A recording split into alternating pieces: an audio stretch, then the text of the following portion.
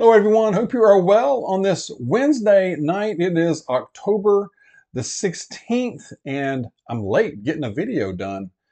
Work has kept me busy, and come home, you get busy, and I need to do a video. Things are happening. Whoa. Uh, prepare. Are you prepared for November? Because things are moving every day on this thing. I'm going to go over some things. I have an excellent, excellent passage I will share with you, so stay tuned for that. It'll make you think. It'll make you think for sure. I think we need to prepare for November, not just in the way we've been talking about, of course, spiritual, your provisions, your water, your medical, and all that. I believe that we need to prepare also mentally. Mentally, and what I mean by that is kind of mentally prepare ourselves to see and hear things that we are not used to seeing here in the United States, North America for that matter. I believe they are going to, in all indications, in my opinion, uh, they're going to try, I'm trying to word this in a way, uh, but I think you'll know what I mean. Uh, I think they're going to try a, a, similar repeat to 2020. I really do. And hey, it worked in 2020. Why not try it again? I mean, they've tried other things on the man. They've tried lawsuits. Uh, they've tried to bankrupt him. They tried to put him in jail. None of that worked. Uh, they've tr- also tried to take him out three times now. That hasn't worked. By the way, they're not going to stop trying. You do understand this. Even if the man gets in there and is inaugurated, they will not stop trying. You can bank on that. Also, this DOD, Department of Defense directive that came out yesterday that everybody's talking about as well which authorizes uh, the possibility of the U.S. military assisting assisting local law enforcement at their request. And that includes language up to and including lethal force on American citizens. Also, I didn't mention this last night, but also authorizes the use of unmanned drones against you and me. How about that? We'll talk about desperate. We'll talk about a little concerned. I believe that they're setting things up. I believe that uh, I believe that they uh, they know they're in a bit of trouble in this election, and uh, they have to pull out all the stops, and they're going to try the C H E A T, and at the same time, they're preparing for the repercussions of that because this time is going to be a little bit a little bit different, a little bit different than the last time, 2020. You know, that day after the fifth of the first month. Uh, they're preparing for that. With this part of it is this DoD directive. Um, and make no mistake, make no mistake, the military, by and large, will follow orders. I believe. Now, hey, I can be wrong. I can be wrong on that. Now, I'm not saying all of them. I, I think there are a good number of military that would say, no, I'm not going to, uh, uh, I'm not going to target citizens. You know, however, however, uh, don't just believe that it won't happen. If we get that far, we need to be prepared. Um, and prepared, like I said, mentally to see, hear things. I mean, really. I believe we could see that. Not saying it's going to happen for sure, but it is definitely possible now. Things are falling into place for this. If I were Trump, I know I'm not, but if I were Trump,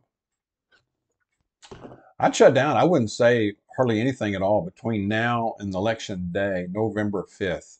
The only thing I would say on repeat, on repeat, I would say, I would take that line from Reagan and say something to the effect of, Are you better off now than you were four years ago? It's all about the economy, man.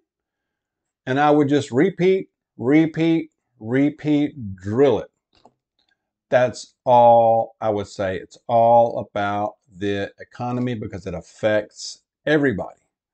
No matter what color you are, no matter where you came from, no matter what your whatever, it's your status, the economy affects us all. That's all you got to say. That's all you got to say. Uh, don't go into all this other stuff. I mean, Harris can't even articulate any kind of plan because there is no plan. There is no plan that she, there's a plan, I'm sure, by somebody back in there, back in the dark rooms. But whatever it is, she can't seem to articulate it. That's not good. As we know, that's not good. Um, that's what I would do if I were him, if I were advising him. Now, would he listen to that? I'm sure. You know, I, you know, he's welcome to hire me as a consultant. I don't think that's going to happen.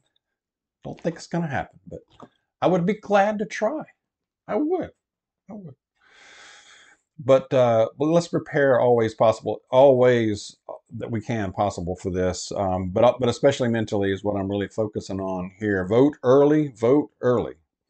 Uh, also, Georgia, you know it, huge battleground state. A Georgia judge struck down struck down several election recently passed election rules by the state election board. A Fulton County judge ruled illegal and unconstitutional and void. Now, the big one was requirement for all ballots to be hand counted by three county election officials to ensure that the numbers match to what the machine tabulated count is. Sounds like it makes sense to me. They're saying, oh no, we can't do that at this time. Uh, you know, we can't just throw that on them now. Okay. I mean, what does that tell you? What does that tell you? I'll let you say in the comments. Also blocked was uh, a new signature um, and photo ID requirements for people dropping off absentee ballots for others.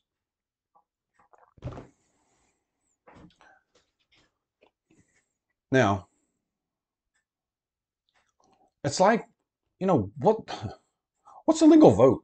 What, what, what is an election? You know, what are the hours? You know, from what I remember, and I've been on this earth for a while and in this country a while, it's from 7 a.m. to 7 p.m. You have to prove that you are a citizen and that you're eligible, that you're registered to vote.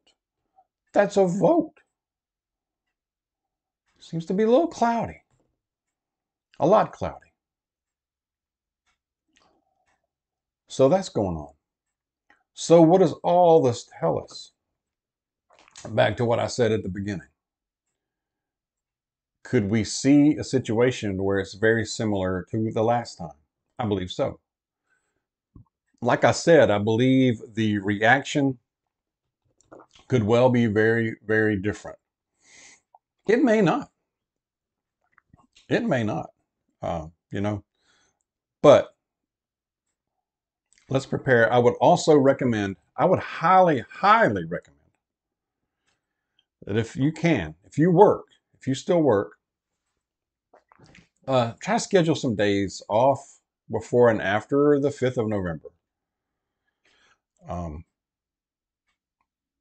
Mrs. Dawg definitely has done that. I'm not going to do that, but I, maybe I should have. I don't know. Uh, we'll see.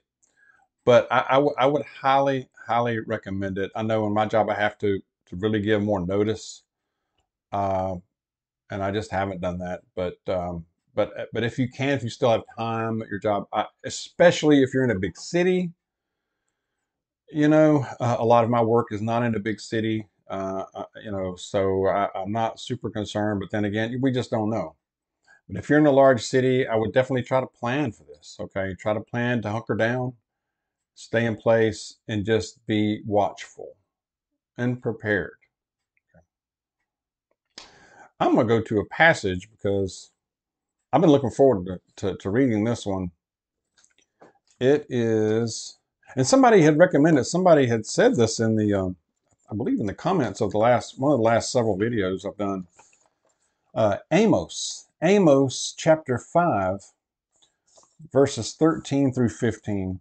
I think they may have cited one verse, but you know me, I can't say one verse. I, I have to I have to do a few more.